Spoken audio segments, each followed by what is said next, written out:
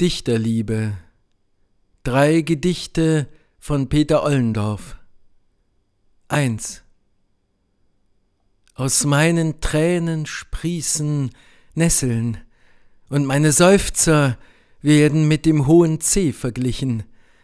Und wenn Sie mich lieb haben sollten, gnädige Frau, dann will ich Ihnen alles geben, was ich an Honorar empfange. 2. Ein Jüngling liebt ein Mädchen, das ist mit einem andern vermählt, der andere hat eine andere weitaus lieber. Das Mädchen lässt sich scheiden von ihrem ersten Mann und heiratet den Jüngling, der ist übel dran. Es ist eine alte Geschichte, es bleiben ewig drei, aber wenn es zur Scheidung kommt, das ist bös. 3.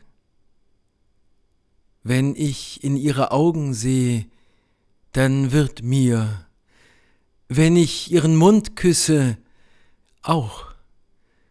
Wenn ich mich an ihre Brust lehne, dünkt es mich. Doch wenn sie sprechen, dann gar